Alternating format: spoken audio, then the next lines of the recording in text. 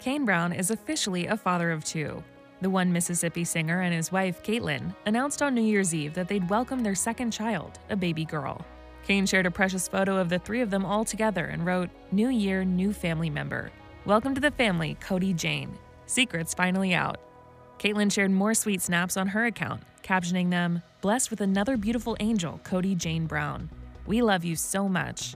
The country couple's famous friends were so excited about the news of Kodi's arrival. Taylor Lautner commented, Let's go. Jimmy Allen wrote, Congrats, bro. And RaeLynn commented, OMG, with a heart and a tears of joy emoji. Kodi's birth makes the Browns a family of four, as Kane and Katelyn are already parents to two year old daughter Kingsley. The toddler is as cute as can be and is already a fan of her musical dad. Last year, Kane told Access Hollywood that the little one was already recognizing his songs. And then the other day, it was funny. I didn't really know if she knew my music. We were doing our thing outside by the pool. My song "Be Like That" came on, and she immediately stopped what she was doing and looked at the looked at the radio and just walked over towards us. So I was like, okay, so you do know my song. that was just a super, it was a super proud dad moment. Little Mama is a fan of Daddy. It's so good. It's so good.